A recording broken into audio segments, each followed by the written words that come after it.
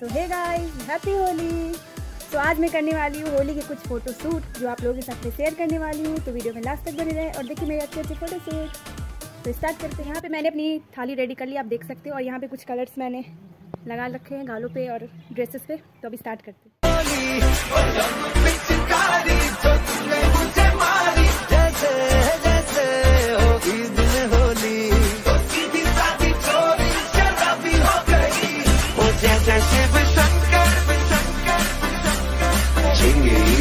Thank you.